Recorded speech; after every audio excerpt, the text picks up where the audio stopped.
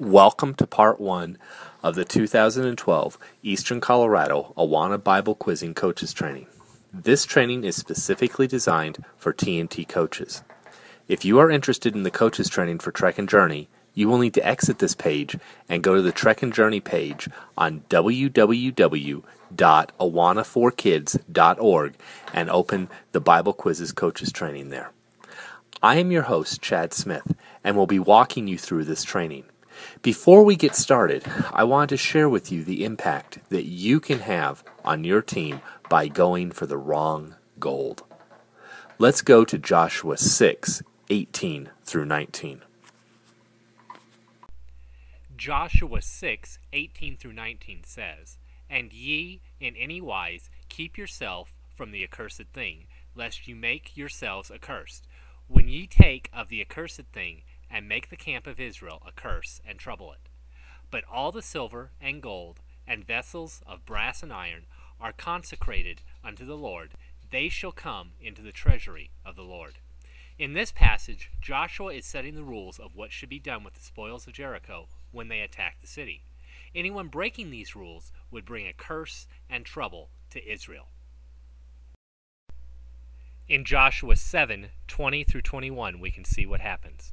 The Bible says, And Achan answered Joshua and said, Indeed, I have sinned against the Lord God of Israel, and thus and thus have I done.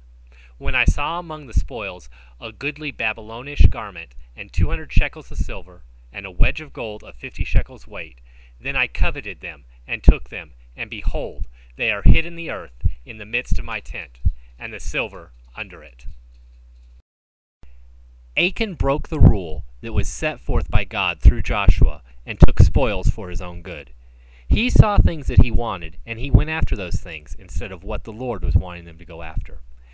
Achan's actions cost the children of Israel the lives of 36 of their fighting men, and in addition, they lost the battle of Ai. You see, going after the wrong gold will cost you, your team members, and the clubbers that are watching you. In Joshua 7 24 through 26, we find out exactly what it cost Achan and those around him. And the Bible says, And Joshua and all Israel with him took Achan the son of Zerah, and the silver, and the garment, and the wedge of gold, and his sons and his daughters, and his oxen and his asses, and his sheep and his tent, and all that he had, and they brought them unto the valley of Achor. And Joshua said, Why hast thou troubled us? The Lord shall trouble thee this day. And all Israel stoned him with stones, and burned them with fire, after they had stoned them with stones. And they raised over him a great heap of stones unto this day. So the Lord turned from the fierceness of his anger. Wherefore the name of that place was called the Valley of Achor unto this day. You see, Achan lost his testimony and his life by going after the wrong gold. In addition, his actions were the cause of the death of his entire family, and for hardship and sadness for the families of the 36 men that were killed in the Battle of Ai.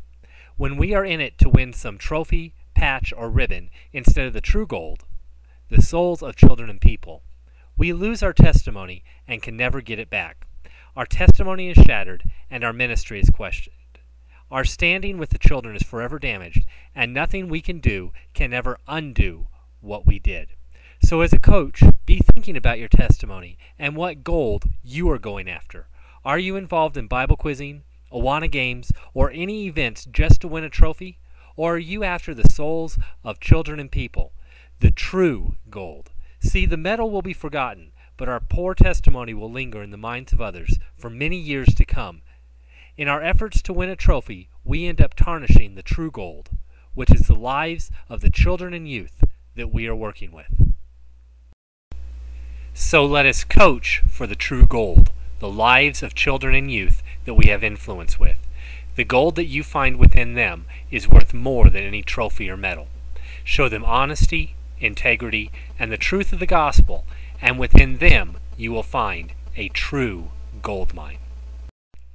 In Matthew 6, 19 through 21, it says, Lay not up for yourselves treasures upon earth, where moth and rust doth corrupt, and where thieves break through and steal. but lay up for yourselves treasures in heaven, where neither moth nor rust doth corrupt, and where thieves do not break through nor steal.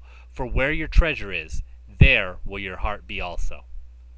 Our prayer is that in being involved in Bible quizzing, Awana games, or other events, that your treasure will be the hearts of these children and youth and their families, and that you'll store up those treasures in heaven so that we can go after the true goal, the souls of people. As we start to take a look at the specific rules and regulations for the Eastern Colorado Awana Bible quizzing, we wanted to let you know that you are responsible for all the general rules, etc. found in this training, and the event guidelines on the registration forms.